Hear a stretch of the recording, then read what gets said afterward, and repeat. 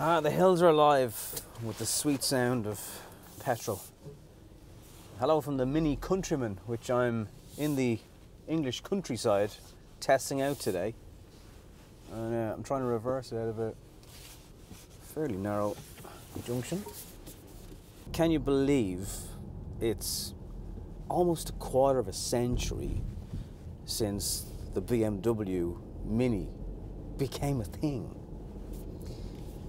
Here we are with the next generation of the car. And I'm going to start with a shortcut tip for you. If you've got a BMW or a Mini, and you hold down the set button on your steering wheel, it will turn off the speed warning. This version of the Mini is quite a bit removed from the idea of the first generation BMW Mini. For example, it's a lot bigger. Now the boot is a little over 400 litres, which is okay, but if you're at a stage of your life where you still require buggies, and certainly if there's more than one child in the family, I don't think you're quite ready for your dream car.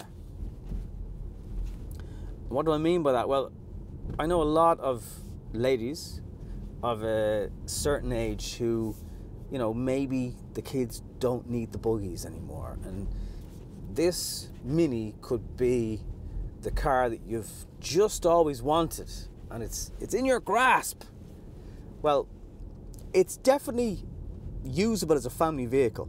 When you look at the back seat area, it is definitely something that if your kid's a little bit older, you can now use as your family car but just be very mindful, that this is a much larger car than a Mini Cooper, uh, a two-door version of the car, which is still fairly true to the original essence of the BMW Mini, anyway, not the Mini Mini.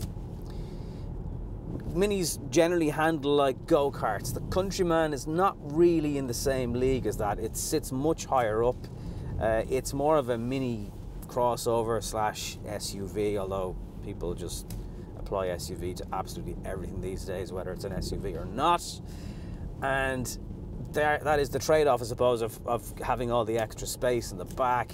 A lot of cool things in the front for storage. I love this little, it's almost like a lunchbox that you just pull up and instead of the armrest opening, it, it does slide back and forward, but that's where you now store stuff.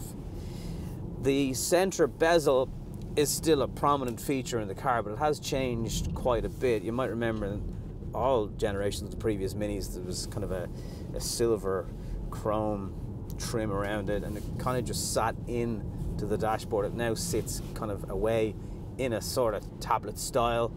Uh, you have a head-up display in, in this car. There's different packs that would allow you to tailor make how your mini is. There's even a pack that gives you extra storage for the fuel tank if you want When I first saw this car back in Munich in September of 2023, I, I wasn't sure on the interior. I think, you know, the last few minis have really nailed it, good quality materials.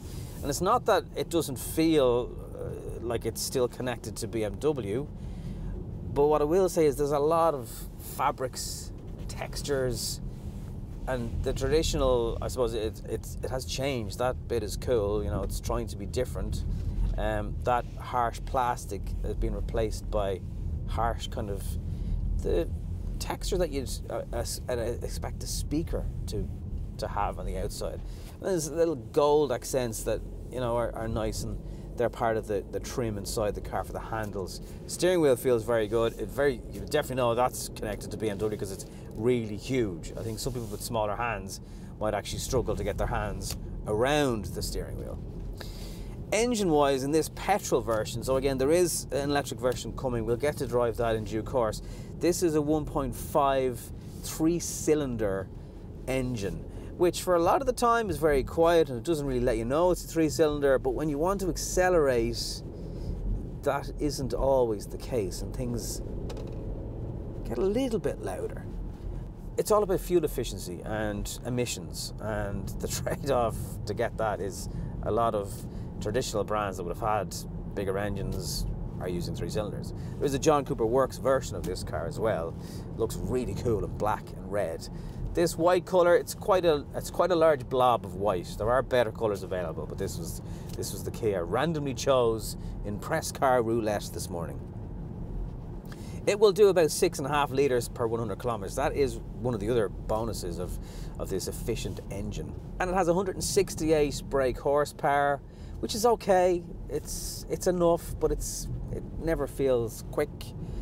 Again, this is a family car now. I think comfort and bits like that are more important. I do feel some of the character though, of like the switches are okay. They're still quirky. The engine start stop looks like a little key, and the gear shifter is okay. But I, I just think some of the personality, some of the character of what we've come to know in the Mini is gone. That's not to say that that means they should have kept doing the same thing over and over. I do get that. But it just feels a little dumbed down in the interior for the, the quirkiness, I suppose, of the car, if that makes sense. Great, great improvements in interior space.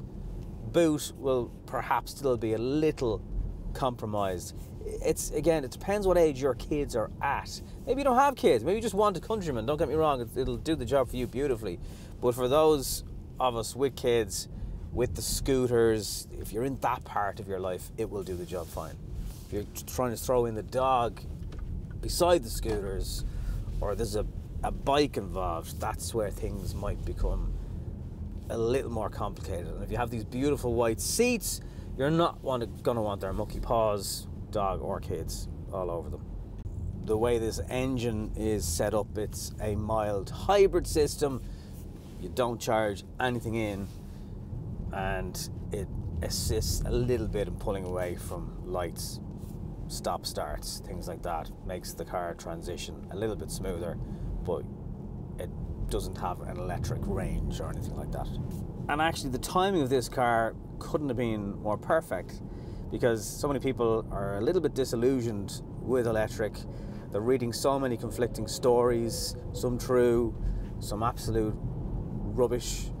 I heard somebody recently saying that uh, a phone charges off the main battery in a car when it charges off the usual 12 volt battery that cars have always had. So just be careful where your sources are coming from. But the idea of just a petrol countryman, maybe the timing of it is just perfect. Does this car capture all the fun qualities of, of driving the normal Mini? Uh, no, not not. It's not fully lost.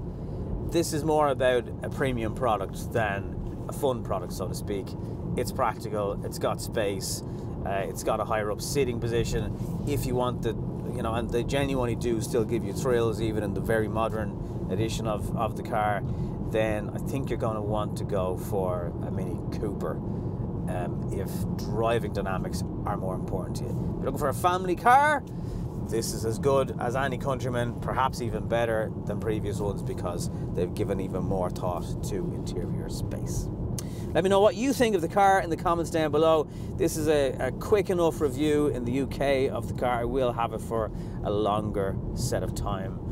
Back at home in Ireland, we'll get a better feel for the car from living with it for a week. But uh, for now, thank you very much for coming with me this far on the review. If you've enjoyed it, you might consider subscribing to the channel, like it, share it with someone who might be interested in this new version of the Mini Countryman. And thank you very much for watching.